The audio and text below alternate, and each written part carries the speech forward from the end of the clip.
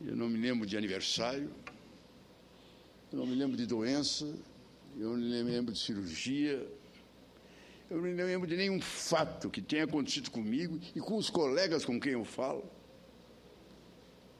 que na hora difícil o Tuma não estava lá. Não estava lá para abraçar.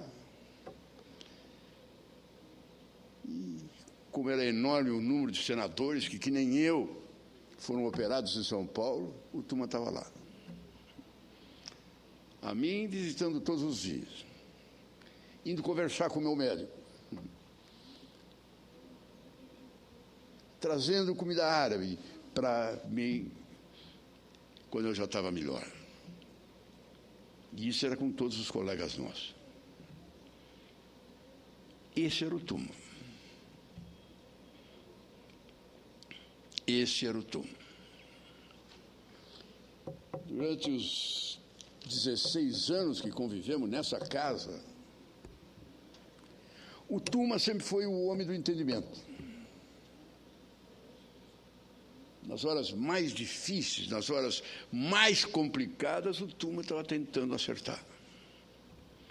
Acertar a questão do Sarney, acertar todas as questões que aconteceram. O Tuma vinha para ajudar, para resolver, para colaborar.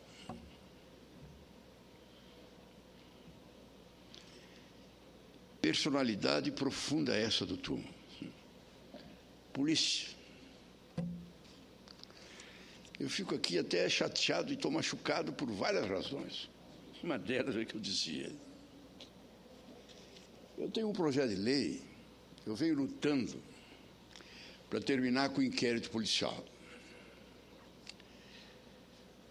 Eu acho que o inquérito policial é profundamente negativo, profundamente negativo na, na vida institucional brasileira. ele atrapalha. Nos Estados Unidos, na Europa, não tem inquérito policial. Há um fato, entra o juiz e começa logo o processo. E fazem lá muito tempo que eu luto por isso.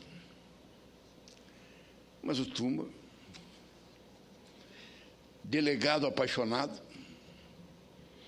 era intransigentemente a favor do inquérito policial ele, delegado de polícia, defende, como todos hoje defendem, que é importante a autoridade policial iniciar o processo antes de chegar na mão do promotor, que já fica mais ou menos com a intenção de denunciar.